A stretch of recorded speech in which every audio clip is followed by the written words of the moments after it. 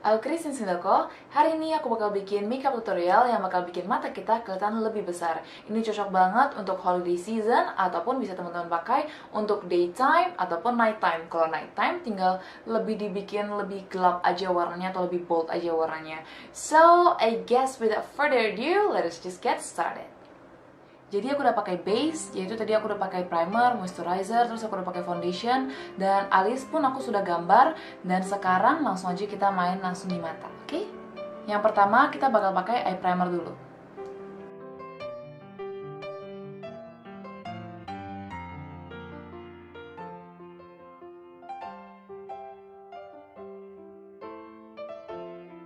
Selanjutnya kita bakal pakai eyeshadow di bagian crease kita.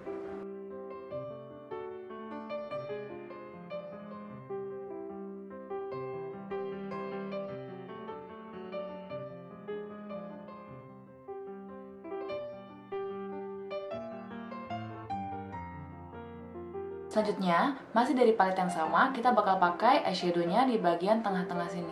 Jadi mengisi yang di bagian lidnya.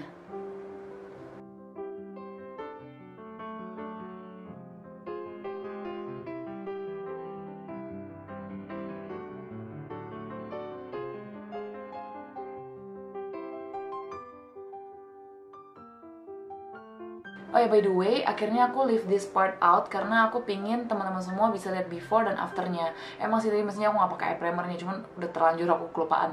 But ya, yeah, um, ini beforenya, ini afternya, oke? Okay? Selanjutnya masih dari palette yang sama, aku bakal pakai eyeshadow untuk di bagian yang bawah sini.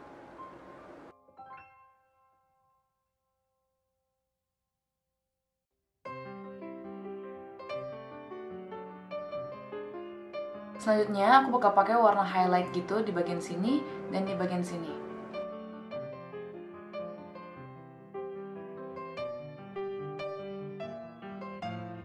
Lalu, kita bakal ambil lagi eyeshadow warna pertama yang tadi kita pakai untuk bagian crease, kita ambil lagi untuk di-apply di bagian sini. Jadi membentuk seperti ini.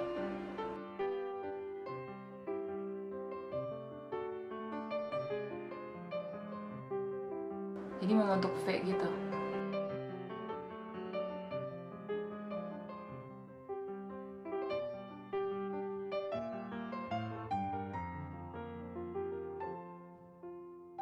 Selanjutnya aku bakal pakai eyeliner.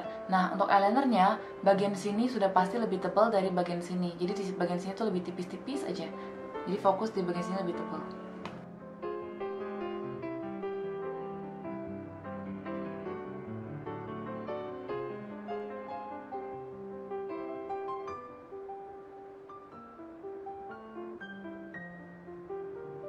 Selanjutnya aku bakal pakai elitip. Nah, elitip itu yang paling ngebantu banget kalau misalnya kita pingin mata kita kelihatan lebih besar. Karena apa? Karena elitip itu kan bikin lipatan mata kita tuh jadi lebih kelihatan. Otomatis mata kita bakal kelihatan lebih besar lagi. Nah, yang aku pakai itu yang model seperti ini. Nah, yang aku pakai tuh seperti ini, modelnya tuh jaring-jaring seperti ini. Jadi aku bakal kasih glue dulu di elitipnya. Kemudian um, aku saranin kalau misalnya pakai eye tape itu pilih yang modelnya jaring-jaring karena pas di apply bakal kelihatan transparannya bakal kelihatan transparan bakal nggak kelihatan kalau kita pakai. Dan juga hasilnya juga pasti lebih bagus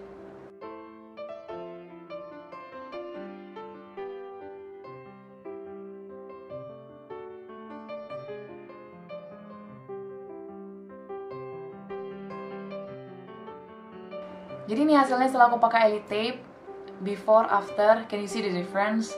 Um, lipatan mata aku memang sebelumnya aku udah punya lipatan mata tapi setelah aku pakai elite tape kelihatannya lebih dalam lagi mata aku otomatis jadi kelihatan lebih besar. Dan yang paling aku suka adalah dari elite tape-nya si Jekyll. Um, elite tape-nya itu tuh jaring-jaring dan warnanya kulit. Itu nggak bikin kelihatan aku pakai elite tape right? Lihat deh kelihatan nggak kalau aku pakai elite tape dari jauh deket nggak kelihatan kalau aku pakai elite tape. Tapi lipatan mataku jadi lebih dalam dari sebelumnya. Which I really love. Oke okay, let's proceed. Selanjutnya kita bakal bikin yang bagian bawah mata. Untuk bagian bawah mata kita bakal pakai lagi eyeshadow yang pertama kita pakai tadi untuk di bagian crease.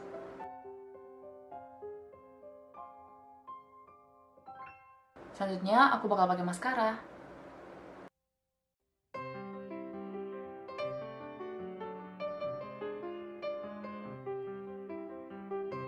Selanjutnya aku bakal pakai bulu mata yang katanya natural, yang katanya tipis-tipis gitu.